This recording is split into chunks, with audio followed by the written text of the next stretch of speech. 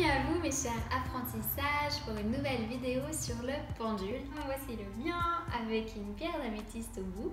C'est un objet qui aide de manière plus concrète à recevoir des messages du monde spirituel parce qu'on a souvent en débutant des doutes par rapport à ce qu'on perçoit, on a besoin de gagner en confiance, de pouvoir aussi discerner ce qui vient du mental et ce qui vient de notre intuition.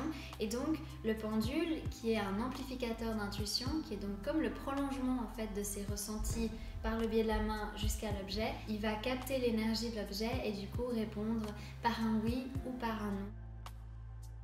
Alors le pendule est basé sur le principe de la radiesthésie, c'est-à-dire que toute forme d'énergie vivante émet des radiations que le pendule va pouvoir capter. C'est en fait la même chose qu'une radio qui va capter des longueurs d'onde qu'on ne voit pas avec nos cinq sens et qui nous permet du coup d'écouter des émissions. Donc là, c'est le même principe, c'est-à-dire que notre intuition, nos ressentis qui émanent de notre soi supérieur, donc c'est vraiment ce qui nous permet cette connexion avec le monde spirituel, qui va transmettre une partie de ces vibrations vers le pendule pour le mettre en mouvement. C'est ce qu'on appelle en fait un ectoplasme, c'est-à-dire qu'il y aura cette forme d'énergie qui va être autour du pendule et qui va lui permettre de bouger parce que, comme je l'ai dit au départ, c'est le prolongement de notre intuition. Donc en fait, c'est nous-mêmes ou la personne qui transmet un message au travers de nous, donc un guide par exemple, qui va soit lui ou nous euh, dévier une partie de son énergie vers le pendule pour le mettre en mouvement. Donc c'est vraiment le ressenti de la personne qui utilise un pendule qui permet son mouvement. C'est pour ça que par exemple si tu as même un pendule avec euh, une ficelle et au bout un bout de bois, eh bien ça fonctionnera. Donc déjà, tu me diras comment est-ce qu'on choisit son pendule Eh bien, j'en reviens toujours au ressenti. Euh, moi, je suis allée dans un magasin, j'ai tout de suite été attirée euh, par l'améthyste. Et puis, euh, quand je l'ai eu dans la main, c'était chaud. Il y avait vraiment quelque chose qui, émanait comme une, chaleur, comme, des petits picotements. Puis j'ai su du coup que c'était avec ce pendule que je voulais travailler. Donc euh, tu peux toi aussi tester d'aller euh, en chercher un en magasin. Je trouve mieux que d'en commander un sur internet. Après, libre à toi euh, en fonction de comment tu sens les choses, de le sélectionner. Beaucoup de personnes ont touché le pendule avant toi. Donc là, pour tout ce qui est purification, c'est pas mal avec le feu. Donc simplement de le laisser par exemple en dessus euh, du feu un petit moment pour le purifier. Ça peut être aussi avec euh, de l'encens comme j'ai là et en ayant cette intention en nous de vouloir le purifier. Ça peut être également euh, par fumigation de palo santo ou bien même de sauge si tu en as. L'eau aussi aide beaucoup à transformer l'énergie, à neutraliser et à purifier. Donc ça c'est aussi un moyen qui marche très bien.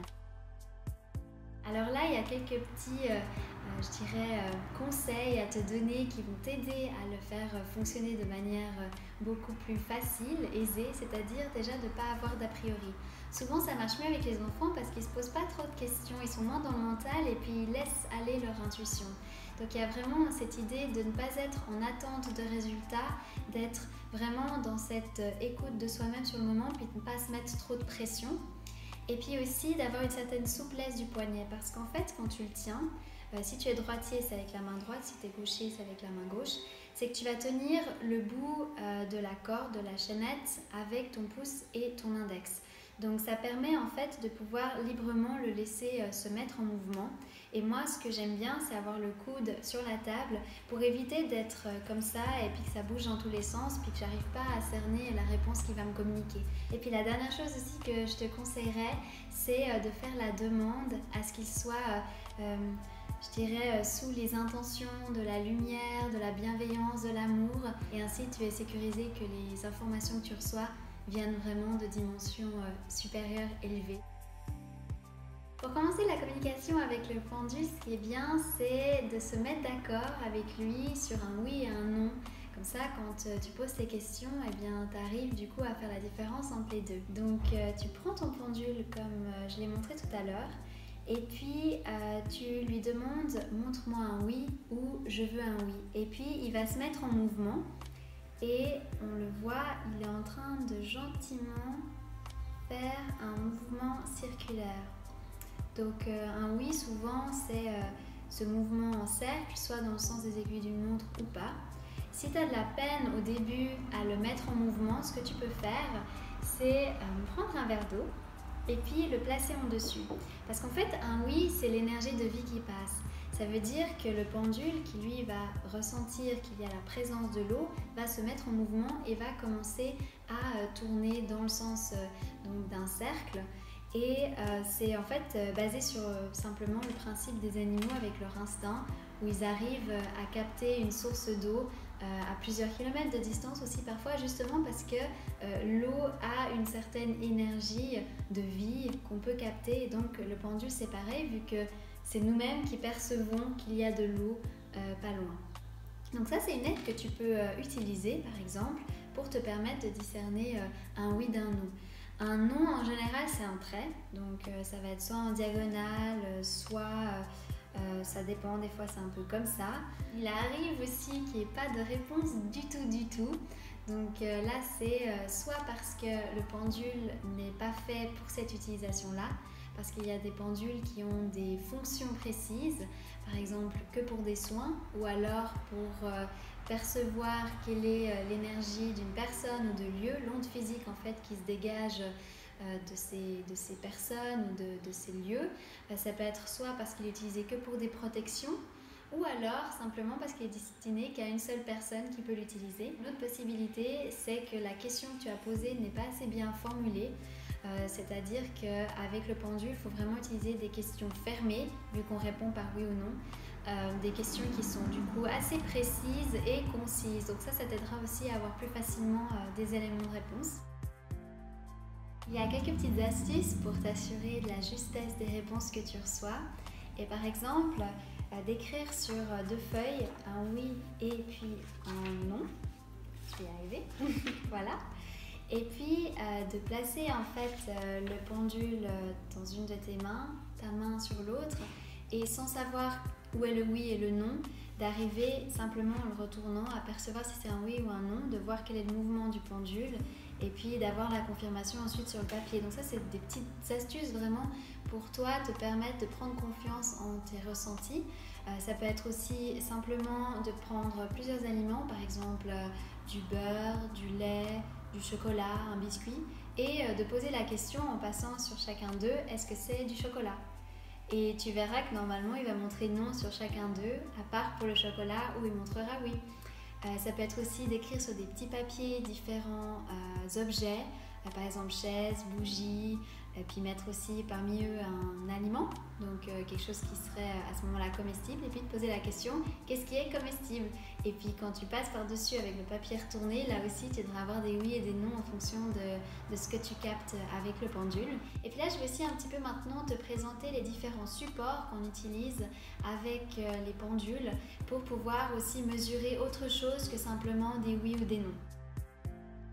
Comme différents supports, tu as surtout les cadrans. Donc il y a le cadran universel, c'est celui qui est en pourcentage, donc qui te permet par exemple de mesurer, comme on l'a vu, la fiabilité des réponses de 0 à 100%, mais aussi un test de vitalité. Tu peux demander à ce que ton âme te communique à quel point tu es en forme en ce moment au niveau par exemple physique, et puis tu verras le pendule qui va aller dans la direction du pourcentage qui semble être ta vitalité en ce moment. Il y a aussi le cadran qu'on appelle numérique et alphabétique où tu as en fait donc euh, l'alphabet ainsi que des nombres de 0 à 9 qui sont indiqués et ça te permet de recevoir des messages en ayant une lettre après l'autre pour former des phrases. Donc c'est un petit peu plus long, mais pour débuter, ça peut être euh, un très bon outil. D'ailleurs, ça ressemble beaucoup au Ouija. Euh, tu as déjà peut-être vu cette planche en bois dans Charmed, Charmed, pour ceux qui, comme moi, petits, regardaient cette euh, émission euh, TV, cette série. Et du coup, euh, les filles, justement, bougeaient avec un triangle, la planche en bois, pour aller vers différentes lettres de l'alphabet. Ben là, c'est le même principe, c'est un cadran, justement, qui, qui, fonctionne de la même manière. Il y a aussi le cadran avec des heures, des mois, des dates, des jours, où là, tu peux être très précis, justement, en fonction d'une question que tu poserais.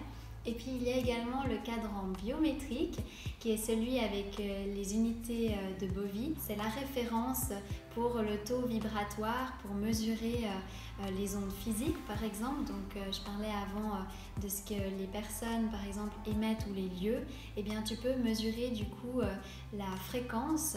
Alors en général quand on est en bonne santé au niveau physique, on est vers les environs de 6500 unités Bovie.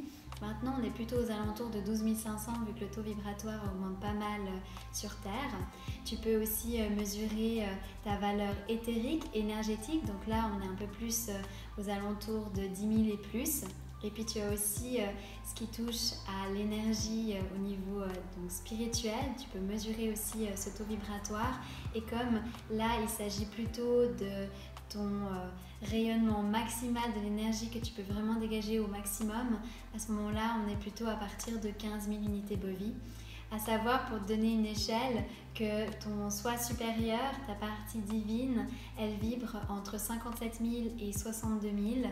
Et le grand tout, la toute puissance, comme on l'appelle, cette euh, source de vie principale qui est en chacun de nous, elle, est euh, vers les 90 000. Donc ça donne un petit peu un ordre de grandeur par rapport à l'énergie qu'on peut mesurer là aussi euh, avec euh, des pendules pour toi ou pour les autres. Donc j'espère que tout ça est assez clair pour toi avec les informations que je t'ai transmises. Euh, ce qu'il faut vraiment retenir dans tout ça, c'est le lâcher prise. C'est vraiment être dans cet accueil des réponses que tu vas avoir, de ne pas te mettre trop de pression. C'est ta confiance en toi et en ton intuition et la qualité de la formulation de tes questions. Donc voilà, on a fait le tour par rapport au pendule. Je pense qu'on y reviendra sûrement quand je parlerai du channeling, comment est-ce qu'on reçoit des messages de l'univers qu'on canalise. Et puis du coup ben, ça te permettra aussi de vérifier avec le pendule. Mais ça c'est euh, par la suite. Je crois que là on est un petit peu trop tôt euh, pour ça donc euh, je reste toujours disponible comme d'habitude. Tu as mes coordonnées sur ateliermarie.ch tu peux me retrouver aussi sur Instagram le même pseudonyme ateliermarie.ch et puis les commentaires toujours en bas de page. Je me réjouis en tout cas de te retrouver pour d'autres vidéos. Je te souhaite plein de belles choses et à très très bientôt. Bye